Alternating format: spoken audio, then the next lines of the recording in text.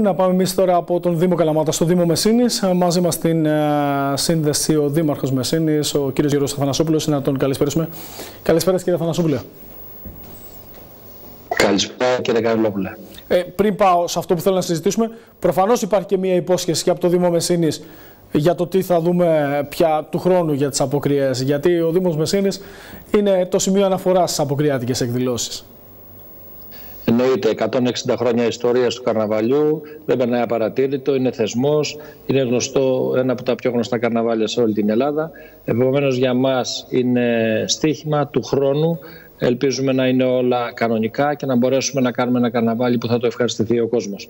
Και εμείς προσπαθούμε να βρούμε κάποιους τρόπους ώστε να ε, διατηρήσουμε ζωντανό τα, τα στοιχεία του καρναβαλιού, την παράδοση, τα νέα στοιχεία. Προσπαθούμε και εμείς να βρούμε κάποιους τρόπους. Θα κάνουμε βέβαια, ήδη έχουμε ξεκινήσει τον, ε, έναν στολισμό, ώστε να υπάρχει ε, το πνεύμα του καρναβαλιού τις επόμενες ημέρες. Πάμε λοιπόν στο θέμα τώρα. Και το θέμα έχει να κάνει με τον δρόμο. Δρόμος Καλαμάτα, Ριζόμιλο Πύλος Μεθόνη. Έχουμε τις εξελίξεις με τη μελέτη περιβαλλοντικών επιπτώσεων. Ποια είναι η θέση και ποια θα είναι και η στάση του Δήμου; Είχαμε την έκδοση της ΑΕΠΟ τις προηγούμενες ημέρες. Είναι μια θετική εξέλιξη. Ε, αν και οι υπηρεσίες υπολειτουργούν, ε, τον Ιούλιο που ε, πέρασε η γνωμοδότηση από το Περιφερειακό Συμβούλιο και τέλη Ιουνίου είχαμε την κατάθεση απόψεων από το Δημοτικό Συμβούλιο Μεσίνης. Πιστεύω ότι είναι καλός ο χρόνος. Επομένως ε, το έργο συνεχίζει, προχωρά, η υλοποίησή του συνεχίζεται και περνάει στην επόμενη φάση.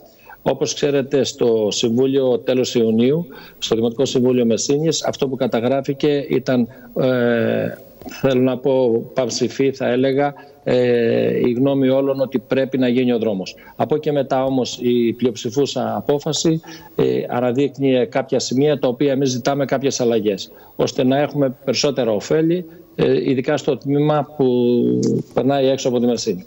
Ε, ο χρόνος, όπως φαίνεται και από την ΑΕΠΟ, ο χρόνος όπου μπορεί να γίνουν κάποιες αλλαγές είναι τα μετέπειτα στάδια ε, κατά την σύνταξη της οριστικής Αυτό είναι κρίσιμο. Μισό, λεπτό, μισό λεπτό για να το διευκρινίσουμε. Αυτό είναι κρίσιμο. Γιατί και ο Δήμος Καλαμάτας και ο Δήμος Μεσίνης ε, έχουν καταθέσει μια σειρά από προτάσεις.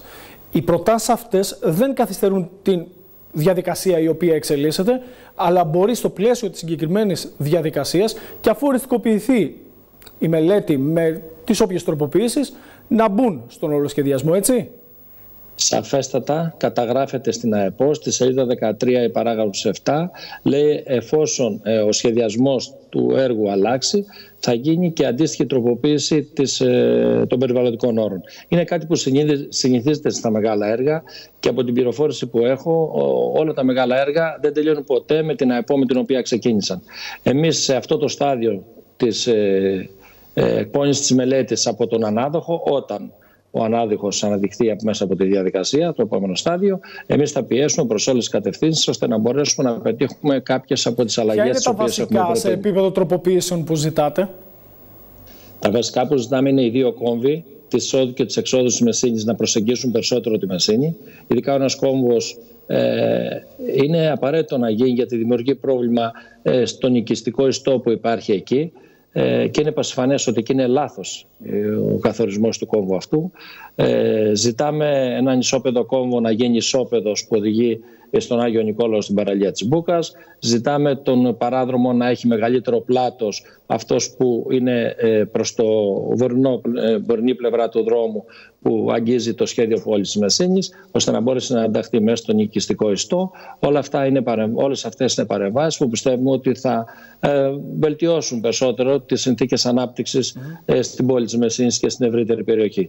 Πάντως εμείς κύριε Τις είχε ακούσει και από κοντά και ο κύριος Καρνέσης, ε, το θυμόμαστε έτσι, στη συνεδρίαση ναι, του Δημοτικού Συμβουλίου. Ήταν, ήταν παρόν ο κύριος Καρνέσης στη συνεδρίαση και άκουσε τις απόψεις μας και τον ακούσαμε όλοι και βγήκε αυτό το αποτέλεσμα. Πάντως, εμείς να ξέρετε, σε συνδυασμό με τον δρόμο, προχωράμε και σε άλλες δράσεις αναπτυξιακού χαρακτήρα που συνδέονται και με τον δρόμο. Γιατί να ο δρόμο σίγουρα. Εδώ, θα νομίζω μου δίνετε την καλύτερη ε, πάση για να πω για την περιοχή Λάμδα Πιτρία, που είναι το πιο, πολύ σημαντικό ζήτημα, που έρχεται σε μια ζώνη, σημαντική ζώνη πλέον ε, του παράπλευρα του οδικού άξονα, να δώσει χαρακτηριστικά αναπτυξιακά.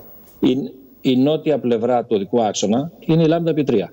Εμείς προχωράμε στον επανακαθορισμό της Λάμδα Πιτρία που αναφέρεται σε 6.500 περίπου στρέμματα, οριοθετείται από τις, εκβολές, από τις παρόχθες όχθες του Παμίσου μέχρι τη Βελίκα ε, και όπως ξέρετε και το ξέρουν πολύ καλά οι μηχανικοί, ύστερα από ε, το γου που σου αναφέρεται ότι έχει χαρακτήρα γεωρικής γης και δεν μπορεί να εκδοθεί οικοδομική άδεια.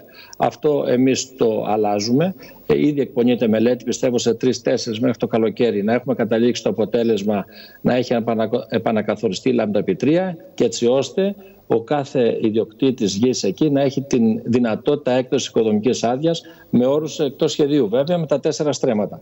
Αυτό είναι κάτι πάρα πολύ σημαντικό. Θα δώσει τη δυνατότητα αξιοποίησης σε μια πολύ μεγάλη περιοχή. Παράλληλα, μέσω του προγράμματος ε, Τρίτσης ε, προετοιμάζουμε μελέτη για κάθε το δρόμο παράκαμψη της ανάληψης. Είναι ένα αίτημα ε, και των κατοίκων της ανάληψης, αλλά πιστεύω ότι θα ατέμνει ε, κάθετα ε, την περιοχή από τον υπάρχοντα δρόμο τώρα, την επαρχιακή οδό και τον δρόμο Καλαμάτα Ριζόμιλος μέχρι την παραλία της ανάληψης. Είναι πρωτοβουλίες οι οποίες συνδυάζονται με το δρόμο γιατί ο δρόμος θα φέρει επισκεψιμότητα, θα αυξήσει το τουριστικό ρεύμα και πρέπει να είμαστε έτοιμοι σε θέματα υποδομών να τους υποδεχτούμε και να τους δώσουμε λύσεις.